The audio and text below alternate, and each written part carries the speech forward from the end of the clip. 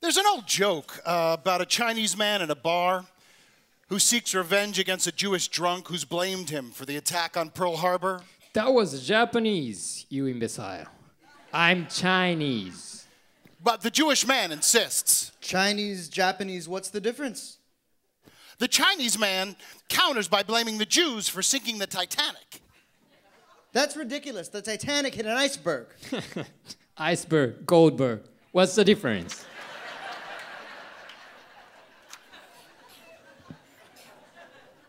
There is a difference, and I can prove it.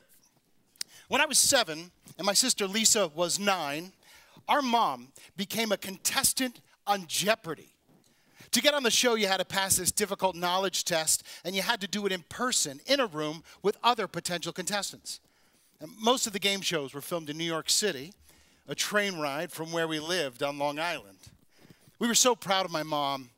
Lisa and I could hardly contain our excitement when we learned she was going to take us to a TV studio.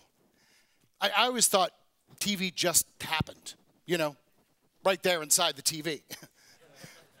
I mean, I knew people didn't actually live inside the television, but I, didn't quite understand how they came to be there. A signal broadcast picked up by an antenna. Hmm. But I couldn't wait to see how the whole thing was done. We loved having a smart mom. I couldn't wait for her to win more money on Jeopardy than my second grade classmate, Debbie Royal's mom, had won on the show Concentration. Debbie thought she was so smart because her mom was smart, so I couldn't wait for my mom to show everybody how smart I was. when we got to the studio, the taping of that day's show was about to begin. Mom said that every contestant had to watch a show being taped, though I didn't understand where they put the tape and why. A, man came out and explained that we should applaud whenever the giant applause sign lit up. As audience members go, I should rank right up there with the best clappers of all time. In fact, my attention completely drifted from the actual show, so I'd be ready to clap when prompted. Now, after the alleged taping, the audience cleared out, and my mom was taken to a room in the back for the knowledge test. Lisa and I walked onto the stage to play our own pretend game of Jeopardy!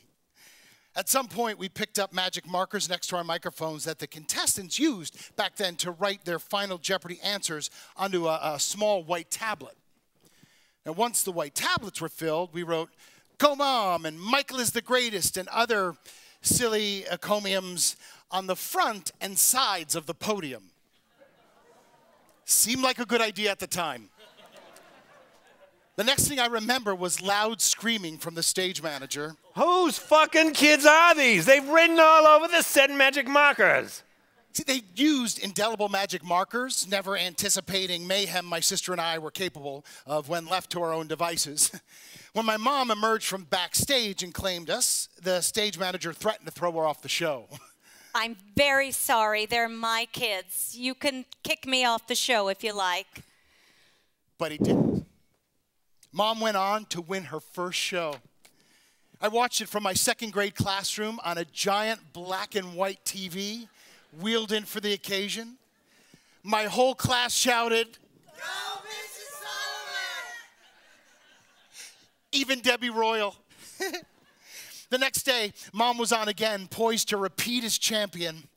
But when the final Jeopardy answer came up, she made a mistake that has haunted her ever since. The question was easy.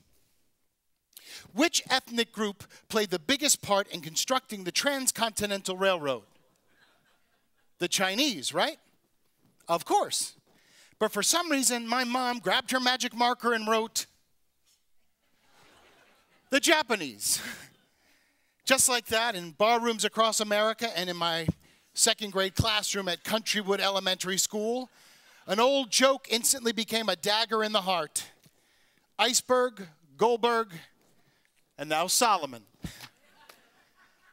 It's still a mystery why our brilliant mom missed such an easy question. Perhaps those magic markers really were magic, cursed by the misbehavior of us kids. In any event, it taught my sister and me the true difference between icebergs and Goldbergs. Icebergs don't have guilt.